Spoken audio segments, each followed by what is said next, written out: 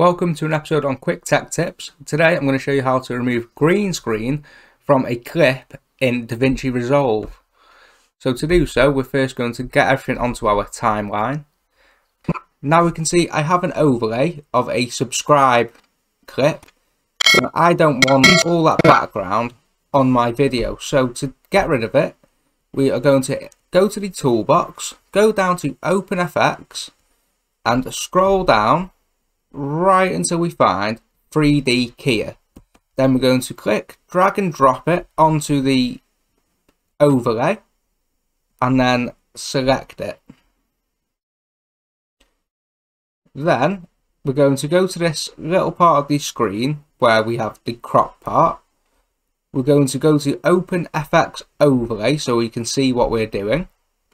And then with the overlay selected and highlighted, go up to the top right and navigate across to effects.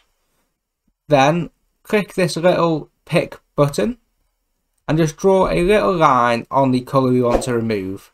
And it's that simple. Then if you wanted to move the area that it's on, you can change the position of it here to move it out the way, etc.